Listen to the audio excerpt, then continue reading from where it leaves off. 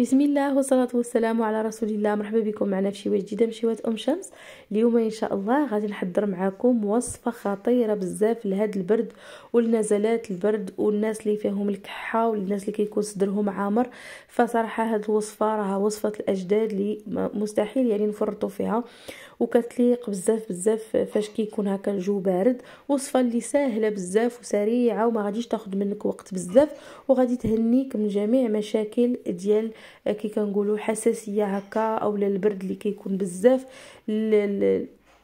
الناس هكا اللي آه، عندهم هكا مشكل في الشتاء أو في فصل الشتاء. فاللي كنحتاجوا ليها هي الشريحة كما كتلاحظوا معايا والثومه اللي من أحسن ومن الضروري تكون ثومه بلدية أو الثومه الحمراء. فهادو آه، هما جوج ديال العناصر اللي كنحتاجو في الأول. فأول حاجة كناخذو هي أننا كنقيو الثومه على هذا الشكل هذا كنزولوا ليها القشرة ديالها كاملة على هذا الشكل. وإلا كنتو غتعملوا كمية كبيرة فكنعبروا نفس العبار يعني إلا عبرتوا مثلا آه مثلا عبرتوا واحد 200 غرام ولا 300 غرام ديال الشريحة. كتعبروا واحد 200 غرام كذلك ولا آه 150 غرام ديال آه ديال الثومه آه فأول حاجة كناخذوا كما قلت لكم بعد ما كنقشروا هذيك الثومه ديالنا كناخذوا الشريحة وكنحاولوا نزولوا لها ديك النباتة ديالها اللي كتكون قاصحة وكنقسموا الشريحة على جوج بحال هذا الشكل. يعني كان بحال كنفلحوها على هذا الشكل هذا اولا كنفتحوها من الداخل بحال هذا الشكل هذا. ضروري كنزولوا ديك النبيبيتة وكنقسموا الشريحة ديالتنا هكا على اثنين فهاد الأثناء كنكونوا عاملين آه عاملين القدرة ديالنا فيها الماء فاش غادي نبخروا هاد الشريحة هذه إلا بغيتو تبخروها يعني إلا كانت عندكم آلة البخار ديال ديال الكهرباء راه ممكن كذلك تبخروها فيها. ما كانش عملوا غير البرمة والكسكاس ديالها. يكونوا هكا مديورين في هاد الوقيتة كيسخن الماء. صافي كما لاحظتوا معايا كنبقى غاده مع هاد مع هاد الشريحة حتى كنفتحها كلها على هاد الشكل وكنجيبها وكنبدا كل شريحة كنعمل فيها فصيص ديال الثومه على هذا الشكل. فإلا كانت عندكم الثومه غليظة ولا كبيرة ممكن تقسموا داك الفص على جوج بشكل طولي تقسموا على زوج صراحة أنا هنا ما توفرتش عندي الثومه اللي كنبغيها لهاد الوصفة. وصراحة وقت ما بغيت نديرها كيبقى يتعكس الأمر يعني ما خديتش الثومه ولا ما لقيتهاش فلهذا قررت أنني غنعمل بعدا بهذا الشيء اللي عندي ومن بعد نعاود نعملها بالطريقة الأخرى لأن صراحة كتبقى عندي هذه على طول العام. كتكون عندنا هكا في الثلاجة. فكناخذ يعني من الأحسن كما قلت لكم يكون الفصيصات ديال الثومه رقاق صغيورين باش حتى هكا الوليدات اللي من فوق من سبع سنين يعني فاش تبغيها كتعطيه هاد الوصفة هذه ما كيحسش بالثومه أولا ما كتكونش الثومه تاني كثيره لأن تاني إلا كانت الغليظة والثومه غليظة والوليدات صغار راها صعيبة. وصراحة في هذه الوصفات فمن الضروري الإنسان الطبيب يعني يسول الطبيب ديالو يسول مسائل آه، واش ياخذها ولا لا؟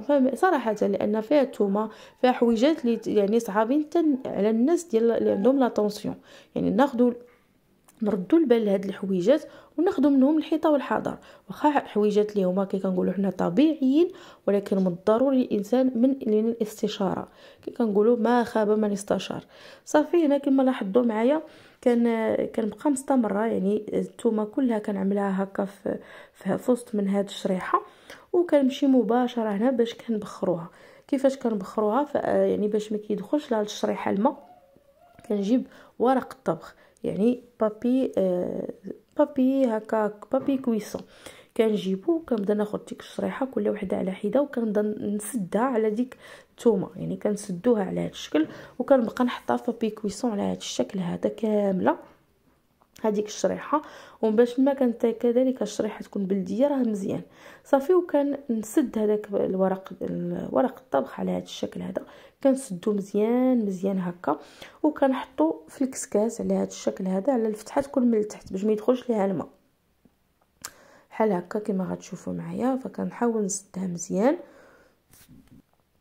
بحال هذا الشكل هذا وكنعملها دابا كنغطي هذا الكسكاس هذا وكنعملها طفور مدة ديال عشرة دقائق يعني ما كنخليهاش مدة كثيره ما بغيناش هذيك الشريحه تهرى يعني تولي آه زبدة. لا هانتوما شوفوا.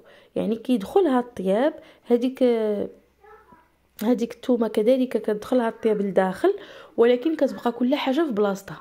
ممكن تاكليها بحال حليوة. هكا هاد الطريقة اللي خصها. صافي هنا كناخذوا كويسات ولا آه، قريعات اللي كيكونوا معقمين بطبيعة الحال وكنبداو نستفوا فيهم هذيك الشريحة كاملة على هذا الشكل هذا. كنستفوها هكا كاملة. أنا هنا كان كيعجبني نعملها في كويسات صغار. علاش؟ لأن القرعة اللي كنبداو نستعملوها ما كتفتحش كلها يعني ما كنعملش كمية كلها في قرعة واحدة باش الكمية اللي استعملنا القرعه اللي كنستعملو تبقى هكا ناخذ منها. والكمية اللي باقي ما تستعملش تبقى مسدودة معقمه هذا ما كان. صافي كنستف الكمية كما شفتوا معايا كلها على هذا الشكل في زوج ديال القريعات ولا جوج كويسات. عاد ديك الساعات كيجي الدور ديال زيت الزيتون أو لا زيت العود. بالنسبة لزيت العود بطبيعة الحال حاجة تكون طبيعية ماشي زيت العود اللي كناخذو من الأسواق ولا ناخذوها نشريوها من هكا نتقداوها لا باش ما كانت حاجة اللي مطحونة على اليد أو لا هكا مشريه من عند إنسان ثقة هي اللي كنستعملوا في هذه الوصفات هذه فكنعمروا القريعات ديالنا فوق من هاد الشريحة حتى كتغطى الشريحة كلها على هاد الشكل هذا بديك زيت الزيتون بحال هكا. والخليط راهو باقي سخون يعني آه، داك الشريحة راه مازال سخونة فعملنا هادشي وهي باقا سخونة. صافي وكنغطيو هنا هاد القريعات ديالنا إما بالبلاستيك غذائي أو لا نعملو ورق الطبخ عاد نعملو البلاستيك اولا الغطايات ديالهم. المهم كنغطيوهم ما تخليوهمش عريانين وكنخليوهم هكا. بلاصة اللي تكون أنا صراحة كنخليوهم هكا في المطبخ. حتى كيبردوا عاد ديك الساعة كنعملهم في الثلاجة وكنخليها في الثلاجة. اللي بغى منها كياخذ وحيده كياكلها وتيتناولها. راها زوينة زوينة بزاف تطلق بزاف بزاف للناس اللي عندهم هكا. الكحة اللي كتكون قاصحة شوية اولا كنقولوا عليها عامرة. صراحة راه كتنفع بزاف. الألم ديال الحلق كتنفع الناس اللي كيكون مجرح لهم الحلق ديالهم يعني بزاف صراحة ديال الأمور اللي آه يعني كتليق فيهم. هذه غير كما كنقول لكم دائما هاد الوصفات الطبيعية راه واخا واخا هكذاك الإنسان ما يكثرش منهم لأنهم حتى هما شي شوية صعاب إلا فتنا. الحاجة دائما كما كنقولوا لها شيء إن زاد عن حده إن قلب إلى ضده. فنسولوا ما فيها حتى باس. شكرا على المتابعة وإلى اللقاء.